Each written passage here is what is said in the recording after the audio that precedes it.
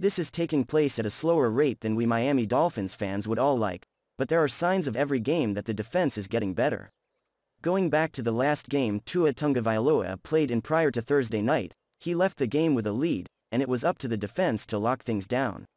Well the defense didn't hold down the fort unfortunately, but did show some small signs during that game we haven't seen up to that point in the season. The way the offense has played lately, last year's defensive type of play can't get here soon enough. Because this year's offense, especially without Tua can use all the help it can get.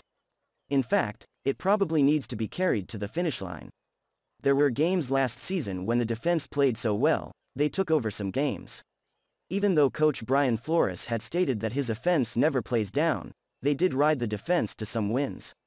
I wanted to talk about it right after that last game Tua played, to share this discovery, like it was spotting landfall, after being stranded at sea for so long. It's just too bad that it couldn't all come back at once, like turning on a light switch. If ever there was a good time for it to come back in that fashion, it would be right before playing a good team that has been a thorn in its side like the Baltimore Ravens. Getting back to the Miami Dolphins defense, there is this pesky caveat, when it comes time to evaluate them. Here comes that moral victory stuff, after holding it close this game before last playing the Buffalo Bills. The Bills then turned around the very next game and lost a low-scoring game to the Jacksonville Jaguars. During the last game, a win over the Houston Texans, Jerome Baker started to play out of his mind, even Justin Coleman got his first interception. It just shows when the whole unit plays well good things can happen, and almost any player can come up with the big play, when enough pressure is placed on the quarterback. The turnovers came in bunches this game, and yes it was to a lowly team, but this league can be fickle like that. Teams play up or down to their opponents at times along with some parity. Just look what happened to the Bills. With the Miami Dolphins getting this win on Thursday, it could be the showcase win of the season, given these two teams' past records playing each other. It could be a springboard win, and the start of many more to come. If the defense played very good against the Texans, it was insanely good against the Ravens. Last year's defense might be showing up soon, and it did on Thursday, but it needs to be as whole to the original as possible if there are any good chances to beat the better teams that are sprinkled into the rest of the games left to play on the season. Miami proved they can play at that level against the Ravens but now they have to maintain it. I'm not saying it will happen, but it could happen. Tua Tagovailoa may need more time but he has to stay healthy. The Miami Dolphins may not have Tua Tagovailoa on the field Thursday night as the starter and while many fans want to defend him, injuries are a problem. Tagovailoa spends quite a bit of time banged up and while we can say some of it is freak accidents or unavoidable, the reality is that no matter the reason, he isn't on the field.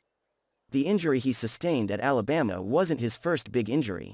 It was only the most significant. Fast forward to today and we have to wonder if he is brittle or simply has a cloud over him.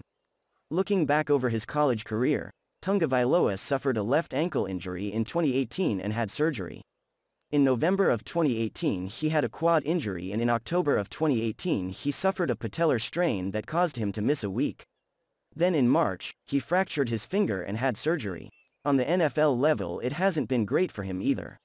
He suffered through early growing pains and uncertainty coming off the hip injury. In his rookie year he missed time due to a thumb injury and this year has missed time due to broken ribs. Now, with one game already missed due to another broken finger, Tagovailoa looks like he may miss a second game. Fans like to compare him statistically to other quarterback across the same body of work and starts in their early careers but Tagovailoa has missed significant time as well and that is a problem too. It is part of the evaluation process. Is he too fragile? Is he too prone to injury? Is it just bad luck thanks to a very bad offensive line? All of it is relevant if we are being honest. The Dolphins need to evaluate him and after the Deshaun Watson fiasco, Tua needs to be on the field proving to them or another team that he can be a top quarterback in the NFL. He can't do that on the sideline. Hopefully, Tua will return sooner rather than later but every game missed is one less game he will gain experience and trust to run the team. You can't grow if you don't play. No matter the reason. Could the Dolphins make a playoff push? The Thursday night game against the Baltimore Ravens looked an awful lot like what we saw so often from the 2020 Miami Dolphins, and it begs the question of whether we're going to see 2020 all over again down the stretch. And, yes, that means a playoff push. The Dolphins obviously have a long road ahead before they even start thinking about snatching a postseason berth and they have made things incredibly difficult on themselves with their frustrating 1-7 start. But the Dolphins are now on a two-game winning streak at a point in their schedule where they can make a run, and obviously need to make a run.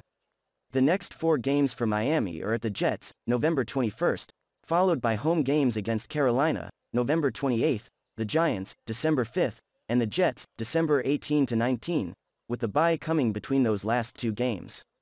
Win all four games and the Dolphins suddenly find themselves at 7 to 7. Look at the current AFC standings, and you'll see only one team, Tennessee, with fewer than three losses. Is it really that crazy to think that a 9-8 team could snag one of the seven playoff spots in the conference?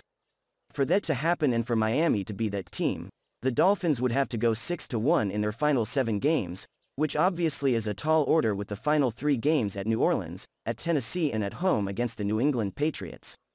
But that's the price for the early struggles.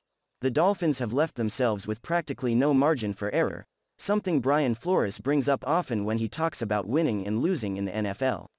With their current 3-7 record, the Dolphins have a 4% chance of making the playoffs.